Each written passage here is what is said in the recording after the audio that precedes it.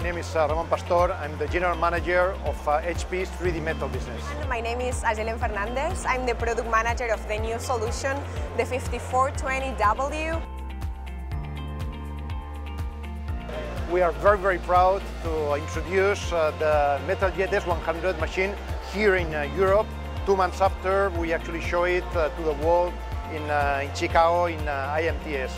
We are very excited because we believe that this is an inflection point on uh, metal uh, production and we believe that this is the first time that our customers, that industries will be able to produce 3D metal parts in an efficient and an economical and scalable way.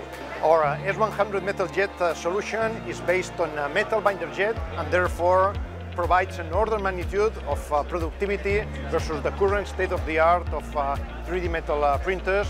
But also what we have done very, very specially, very intentionally, is uh, basically the productization, looking at modularity with the whole uh, uh, physical and digital workflow with attention to really repeatability, yield, uptime, and with a full set of services to help our customers to go through the adoption journey.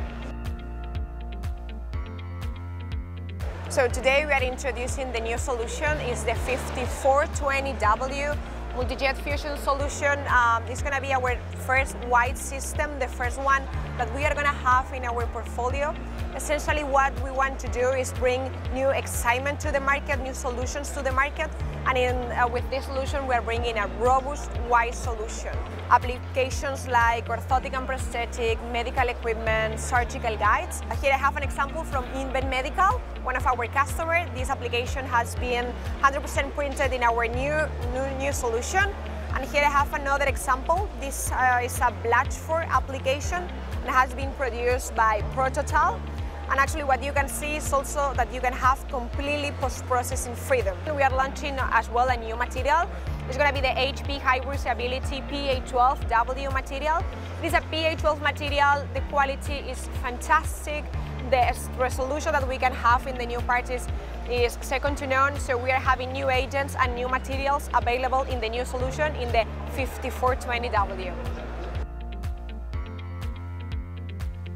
at the scale. So really in five years we see actually the adoption versus uh, technologies today like uh, metal injection molding, press and sinter, casting will be uh, really an important part of the business because of the flexibility, because of the adaptability, because the advantages to supply chain at the end of the resiliency that is really what our customers are asking us.